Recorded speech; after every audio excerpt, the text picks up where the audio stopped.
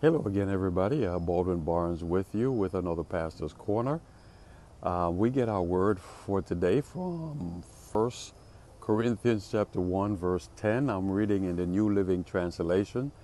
It says, I appeal to you, dear brothers and sisters, by the authority of our Lord Jesus Christ, to live in harmony with each other.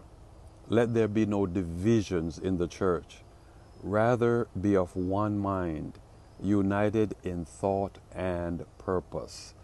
One mind, united in thought and purpose. Live in harmony with one another. And so our word for today is unity. Um, unity does not mean uniformity, where we're exactly the same.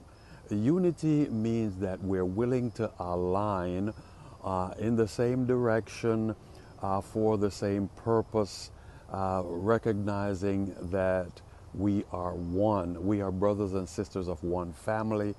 Uh, we have one Lord, one Father, one God, one Creator, one message, one love, um, which is biblical as well.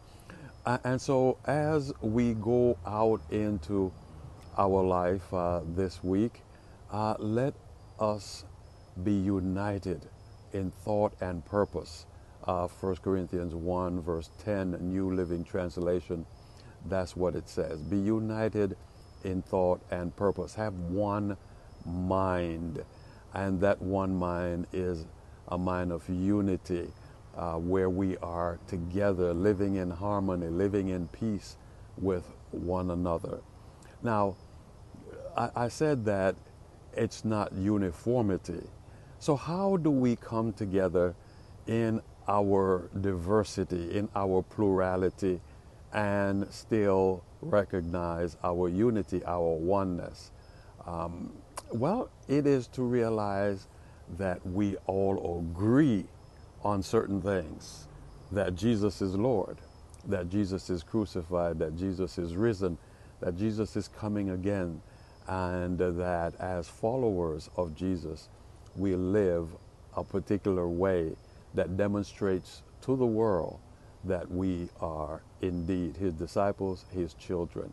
So God bless you as you live in unity, demonstrate unity, manifest unity, and recognize the blessings of unity with each other. And as we do that, we will show to the world that we are indeed God's children because of the love that binds us together as one. In His name, more power to you. God bless you. See you next time. Bye bye.